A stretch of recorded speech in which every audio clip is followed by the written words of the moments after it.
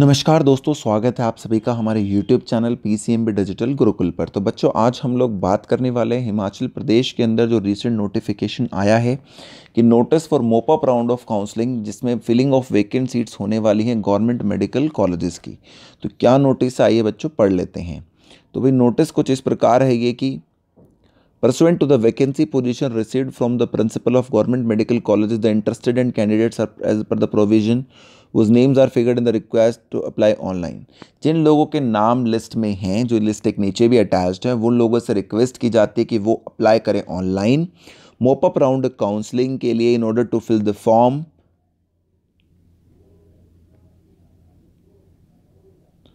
course and quota with effect from 24 to 26 यानी आप आज शाम तक ये नोटिस आप अपना भर सकते हैं। वेबसाइट आपके पास है H P university dot A C dot in या H P online counselling dot co dot in में से किसी भी एक वेबसाइट पर आप जाकर ये कर सकते हैं। Including to fill a vacant seat in drop a casual vacancy as per provision content this close ये आपके इसमें अपने को ध्यान नहीं देना है।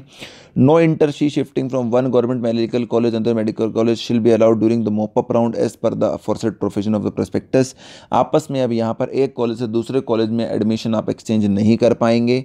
सिर्फ़ जो सीटें खाली रह गई हैं, वो फिलअप होंगी। इन अपग्रेडेशन कम चांस है। एक कॉलेज से दूसरे कॉलेज में आप जा नहीं जा सकते। और shifting upgradation of courses from medical dental colleges including government to government medical college allowed तो अभी देखो, अगर आप मेडिक डेंटल से मेडिकल कॉलेज में जाते हैं तो वो अलाउड है, बाकी चीज़ें अलाउड नहीं हैं। डिटेल्स जो है वैकेंसी की कुछ इस प्रकार हैं कि आईजीएम से शिमला में एक सीट शेड्यूल कास्ट की बची हुई है और पीडब्ल्यूडी कैंडिडेट की और C H of J and K migrant जो है उसकी एक seat doctor R P G M C Tanda में बची हुई है। अगर seat of person with disability as shown above shall be converted in general category अगर कैंडिडेट आपको नहीं मिलता है तो वो सीट जो है आपको कन्वर्ट करनी होगी जनरल कैटेगरी में। ये आपको ध्यान रखना है। ये नोटिस दिया गया है। ठीक है? General combined merit list of candidates of all categories with updated admission status made by this this this is attach there with general combined आपकी मेरिट लिस्ट है सभी कैंडिडेट्स की सभी कैटेगरीज की वो इसके नीचे आपको दी गई है मैं भी दिखा भी दूँगा। However, the location of seats for admission will be made by centralized strictly in order of merit come choices जो है उसी हिसाब से होगा वो बात अपनी बिल्कुल सही है। कैंडिडेट्स को सीट जो है कब मिलेगी कैंडिडेट्स को सीट 28 तारीख को मिलेगी और उनको 30 तारीख तक कॉलेज ज्वाइन कर लेना है। अगर नहीं करते हैं तो उनकी सीट कैंसिल मानी जाएगी। ठीक है? Candidate can fill the choice of colleges courses quota which are not reflecting in the vacancy position क्योंकि आप ऐसा मत सोचेगा कि भाई, मेरे को तो जनरल में कोई सीट ही नहीं दिख रही है तो मैं क्या करूँ? आप अप्लाई कर सकते हैं बिकॉज़ सीट कभी भी अराइज कर सकती है। ठीक है? देखो candidates advise to fill the preferences as per the choice of maximum colleges आपको भरने हैं। सीट जो होगी मोपअप राउंड में वेलोकेट होगी as per availability of seat per merit cum basis इसके बाद आपके सामने लिस्ट आ जाएगी। दोस्तों, अगर आप एक पेज आगे जाते हैं तो दिस इज़ द लिस्ट जो आप देख सकते हैं। पूरी लिस्ट है। हिमाचल प्रदेश स्टेट के कौन कौन बच्चे हैं? कैटेगरी रैंक किस बच्चे की क्या है? नीट ऑल इंडिया रैंक क्या है? वो सारी चीज़ें यहाँ पर छः सौ पचासी नंबर हैं किसी बच्चे के। डॉक्टर राजेश शर्मा, जिनके फादर हैं भाव्या शर्मा। किसी बच्चे के सिंगल गर्ल चाइल्ड हैं जिनकी रैंक वन है। आस्था, इस तरीके से आप पूरी लिस्ट यहाँ पर ये चेक कर सकते हैं कि आपको पूरी list state quota state quota H P state, ये पूरी लिस्ट आपको वन सेवेंटी फाइव पेजेस की प्रोवाइड करी गई है।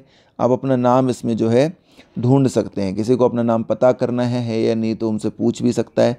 वरना इस पूरी लिस्ट को जो ऊपर वेबसाइट दी गई थी वहाँ सर जाकर भी हम लोग क्रॉस वेरीफाई आराम से कर सकते हैं। कौन सी वेबसाइट दी गई थी बच्चों?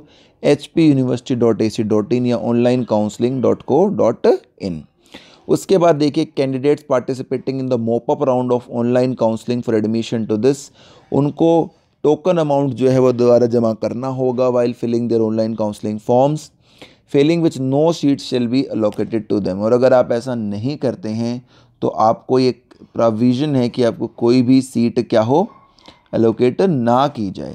तो ये आप ध्यान रखिएगा कि जो भी वहाँ पर ऑनलाइन में आपके सामने इन्फॉर्मेशंस आएँगी, ठीक है, वो आपको ध्यान देनी है। जो फ़ीस वगैरह वो डिपॉजिट करनी है। हालाँकि जिन कैंडिडेट्स का ऑलरेडी एडमिशन हो चुका है प्राइवेट मेडिकल कॉलेजेस में, या डेंटल कॉलेजेस में, या जिनको फ़ीस टोकन अमाउंट डिपॉजिट हो चुका है ड्यूकिन सेकेंड राउंड लेकिन उनको कोई सीट एलोकेट नहीं हुई है तो उनको दोबारा से पैसे भरने की ज़रूरत नहीं है। टोकन अमाउंट जो भरना है वो कितना भरना है? तो गवर्नमेंट मेडिकल कॉलेज के लिए दस हज़ार भरना है नॉर्मल कैटेगरीज को S C S T O B C को भरना है पाँच हज़ार। ठीक है? कैंडिडेट्स वो will located seats during this course तो टोकन अमाउंट की फ़ीस उनकी ट्यूशन फ़ी में एडजस्ट कर दी जाएगी। और जिनको अलॉट नहीं होगी the token amount fee shall be refunded उनको रिफंड कर दिया जाएगा। ठीक है? आप सारी चॉइसेस को ध्यान से भरिएगा। आप इस नंबर पे कांटेक्ट कर सकते हैं। Notice for filling up of vacant seats जो है बी कोर्सेज की। वो भी सेपरेटली इशू किया जाएगा नोटिस तो भाई इसके बाद ही आपके सामने पूरी न्यू लिस्ट है ही. Thank you so much for watching the video guys please subscribe our channel have a good day take care